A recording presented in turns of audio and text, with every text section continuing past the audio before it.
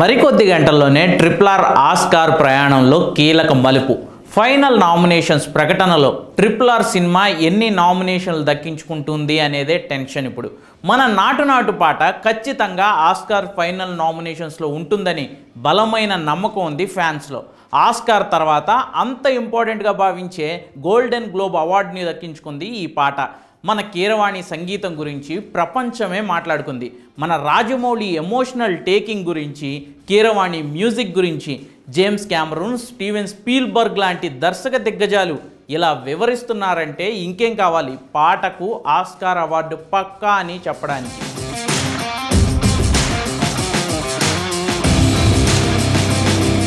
ఇప్పుడు పాటలతో పాటు మరో విభాగంలోనూ ఆస్కార్ బరిలోకి దిగేలా కనిపిస్తుంది ట్రిపుల్ ఆర్. అదే best actor best supporting actor.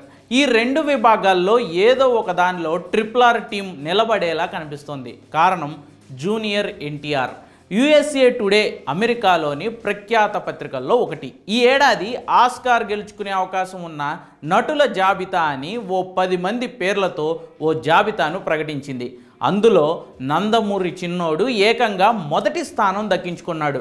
ఆస్కార్కు vote వేసేవాళ్ళు ఎన్టీఆర్ యాక్టింగ్ను తప్పకుండా పరిగణలోకి తీసుకోండి అని యుఎస్ఏ టుడే ఓటర్లను కోరుతోందంటే బొడ్డోడి యాక్టింగ్కు హాలీవుడ్ ఎంత ఫిదా అయిందో అర్థం చేసుకోవచ్చు. అంతకుముందు వెరైటీ అనే మ్యాగజైన్ కూడా జూనియర్ ఎన్టీఆర్ను ఆస్కార్ గెలిచే నటుల జాబితాలో నిలిపింది. సో బెస్ట్ యాక్టర్ కానీ బెస్ట్ సపోర్టింగ్ యాక్టర్ కానీ ఈ రెండింటిలో ఒక దాంట్లో ట్రిపుల్ ఆర్కు నామినేషన్ పక్కా అని ఫ్యాన్స్ అంతా సంబరాలు చేసుకుంటున్నారు.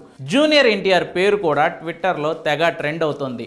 ఇంతకీ ఎన్టీఆర్ యాక్టింగ్లో హాలీవుడ్ ప్రేక్షకులకు బాగా నచ్చింది ఏంటంటే అతని క్యారెక్టర్ని జక్కన్న మలిచిన తీరు.